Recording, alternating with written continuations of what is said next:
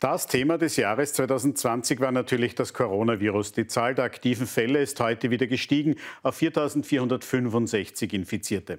Mitte Jänner soll man sich aus dem aktuellen Lockdown freitesten können und dann, wenn man negativ getestet ist, etwa in Lokale oder zu Veranstaltungen gehen dürfen.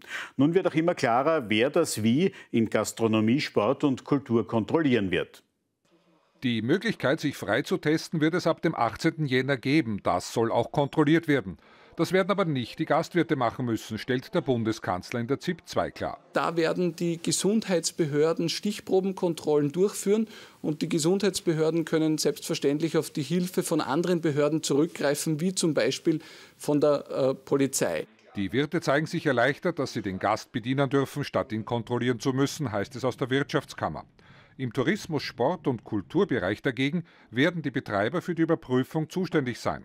Bei der Kunst- und Kulturabteilung des Landes heißt es dazu, dass man, sobald die genauen Regeln für diese Kontrollen vorliegen, sie auch umsetzen werde.